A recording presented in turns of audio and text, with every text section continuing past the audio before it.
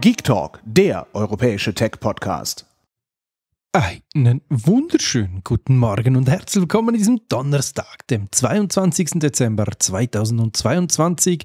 Du hörst die Geek Talk Daily 1290. Heute mit den folgenden Themen: Oppo, Apple TV, Twitter, Boxcryptor, Google Pay oder Play? Nee, Pay Play, was auch immer, EU und Lark. Ich starte gleich mit Oppo. Die haben fröhlicherweise bekannt gegeben, dass sie ab dem nächsten Jahr Gutmenschen sind und Android-Updates für die 2023er Flaggschiffe mit längeren Updates ausliefern. Was heißt das bei Oppo? Ja, das heißt, dass sie vier große Android-Updates ausliefern werden. Also das sind die, die jeweils im Frühling vorgestellt werden und im Oktober, oh, November irgendwann dann mal auf die Menschheit losgelassen werden und mit ein paar Schritten später dann auf die einzelnen Telefone. Das ist ja mal top. Aber es heißt in der Beschreibung für ausgewählte Flaggschiffe. Gut, das muss nicht viel heißen, weil Oppo ja nicht viele oder nicht alle ihre Geräte, die sie auch in China haben, zum Beispiel nach Europa bringen. Somit wären es dann hoffentlich die ausgewählten und nicht die dazwischen. Was man auch bekannt gegeben hat, man bringt bis zu fünf Jahre Sicherheitspatches. Das sind natürlich tolle Neuigkeiten, freut mich sehr zu hören ist natürlich auf Druck der Europäischen Union passiert, könnte ich mir ganz stark vorstellen. Und da wird der ein oder andere Hersteller jetzt dann gleich auch noch hinten nachkommen und das von sich äh, aus sagen, als ja, Eben, sie müssen ja. Aber es sind gute Neuigkeiten für die Nutzenden da draußen. Dann gibt es Gerüchte für Android, also von Apple für Android, und zwar Smartphones. Es soll anscheinend in Planung und oder Arbeit sein, die Apple TV App auch auf Android rauszubringen. Ich dachte immer, ich habe die auf meinem Android drauf oder habe ich das auf meinem Android TV gehabt? Ich bin mir nicht mehr ganz sicher. Auf dem Android TV auf jeden Fall, auf dem Smartphone ich habe es nie vermisst, weil ich immer ein iPhone dabei habe, logischerweise. Aber ich muss nachschauen. Genau, Twitter Blue hat Neuigkeiten. Und zwar Blue for Business, da gibt es Neuigkeiten. Ihr könnt, wenn ihr als Firma euch verifiziert, gleichzeitig auch noch eure Angestellten und oder einen ausgewählten Kreis davon ähm, prominent hervorheben. Dann bekommen nämlich die Firmenmitglieder, also die Mitarbeitenden, neben dem goldenen Haken auch noch einen Vogel hinten dran und dann weiß man, dass die dazugehörig sind zu dem Unternehmen. Wahrscheinlich nicht verkehrt, für Twitter natürlich eine Möglichkeit, noch mehr Geld zu machen. Und das haben sie auch nötig. Und deshalb gibt es vielleicht die goldenen Abzeichen und oder nicht Nein, nicht ganz. Es geht jetzt noch um was weiteres, nämlich um, was war es jetzt noch? Ich muss zurückblättern. Irgendwie ist mir hier was abgerutscht. Genau, warum gewisse, Quadra äh, gewisse Profilbilder bei Twitter, entschuldigt, äh, quadratisch sind, ja, auch das hat eine Möglichkeit oder ist eine Möglichkeit von Unternehmen, die sich verifizieren lassen. Die können, um besser aufzufallen, ihr Profilbild in quadratisch machen. Kann man machen, finde ich praktisch oder auch nicht, wie man will. Boxcryptor wurde ja von Dropbox übernommen. Das habe ich schon wieder vergessen und deshalb mich so gewundert, da einige unserer Zuhörenden mir Screenshots geschickt haben, wo deren ihre Boxcryptor-Accounts geknackt, äh, geknackt, gekündigt wurden. Und zwar fachgerecht oder zeitgerecht oder wie man das Ganze auch immer nimmt. Ähm, ja, Dropbox hat damals angekündigt, sie werden die Bestandenskunden noch behalten, solange die Verträge da laufen.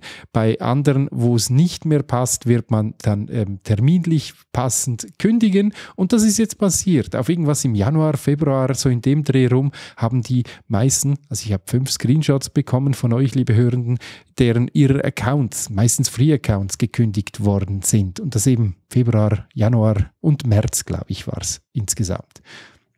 Es gibt eine neue Möglichkeit bei Google Play. Da könnt ihr als Kinder, also eure Kinder können wenn Sie was kaufen möchten, euch als Elternteil anfragen. Das heißt, wenn Sie irgendwelche kleinen Transaktionen, In-App-Purchases oder auch mal eine ganze App kaufen möchten, können Sie die Eltern zuerst anfragen. Ein Ding, was man unter iOS schon lange hat und eigentlich auch unter Google.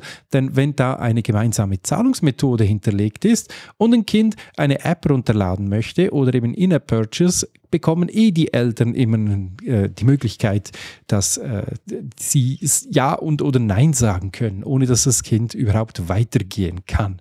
Also von dem her, ja, neu, falls nicht. und falls nicht, gibt es, glaube ich, eher weniger, würde ich mal behaupten. Oder zumindest in meiner äh, Bubble ähm, haben die jeweiligen Eltern immer eine gemeinsame Karte hinterlegt. Die Europäische Union, ja, die hat wieder mal neue Regelungen für Design, Produktion und Entsorgung von Akkus rausgehauen. Ich glaube, bis Ende Jahr werden die noch alles festlegen und festnageln, so dass man in Zukunft gar nichts mehr Neues auf den Markt bringen kann. Versteht mich nicht falsch. Ich bin grundsätzlich dafür, dass man nachhaltigere Produkte macht, dass man die Hersteller dazu zwingt, Updates zu fahren und so weiter und so fort, dass man Vereinheitlichungen macht. Aber irgendwo muss dann auch noch die Möglichkeit Möglichkeit sein, dass man ja, neue Geräte entwickeln kann, neue Ideen umsetzen kann. Ich meine, was wird es dann, wenn dann die äh, Apple-Brille oder die Google-Brille oder was auch immer für eine Brille kommt, die wird dann irgendwie einen fetten 9 Volt oder eine Autobatterie im Hinterkopf haben, weil man das Teil ja tauschen muss. Man soll äh, eigentlich alles, was Akku drin hat, somit auch Kopfhörer, Laptops, Tablets und so weiter, nur noch mit einfach, und zwar vom Kunden tauschbaren Akkus ausliefern können. Na dann, freut euch wieder auf die 2000er Laptops, dick, fett und wenn sie dir mal runterfallen, klappen sie auseinander und das Zeug geht kaputt. Äh, es gab schon einen Grund, weshalb die früher austauschbar waren. Die Akku, die hielten doch keinen Tag lang. Ähm, aber ja, lassen wir das Thema. Ich, wie gesagt, versteht mich nicht falsch. Ich finde Nachhaltigkeit und das ganze Thema sehr, sehr wichtig und da muss sich noch einiges tun. Aber ich finde das falsch, wenn irgendwelche einzelne Regierungen und oder äh, Zusammenschlüsse von Regierungen Dinge bestimmen, die dann für die nächsten 50, 30 oder auch nur 10 Jahren gelten, weil wir wissen ganz genau, in der Technik geht es brutal schnell vorwärts. Und das könnte dann eingebremst werden, weil nicht nur die EU kommt und macht solche Dinge, auch Indien kommt. Und irgendwann kommt vielleicht auch China und USA und dann hast du nachher 15 verschiedene Telefonate. Und dann weiß ich ganz genau, was passiert. Die Schweiz, Deutschland und Österreich werden einfach keine Geräte mehr bekommen oder nur noch die Hälfte oder ein Drittel, weil halt einfach das coole, interessante, spannende neue Zeug was vielleicht nicht ganz, aber eben, ihr wisst, was ich meine. Wir werden sehen, wie sich das Ganze entwickeln wird und wann sich da die ersten Firmen vielleicht auch schon beginnen zu wehren und oder sich ein bisschen querstellen. Zu guter Letzt habe ich euch noch einen Hinweis auf einen Testbericht vom Lark Pitcher Pure Wiz ganz einfach gesagt ein Tischwasserfilter, den ich habe testen dürfen für euch. Ein Video dazu plus äh, meinen ausführlichen Testbericht könnt ihr auf dem pogipsi.ch Blog nachlesen. Link wie zu allen Themen, die wir heute wieder in der Daily drin hatten, findest du wie immer im Podcatcher deines Vertrauens auf www.geektalk.ch und oder da, wo die, die, die Links von deinem Podcatcher einfach zu finden sind. In diesem Sinne, euch einen schönen und erfolgreichen Tag und wenn ihr mögt, bis bald schon wieder. Tschüss. Hört mehr Geek Talk.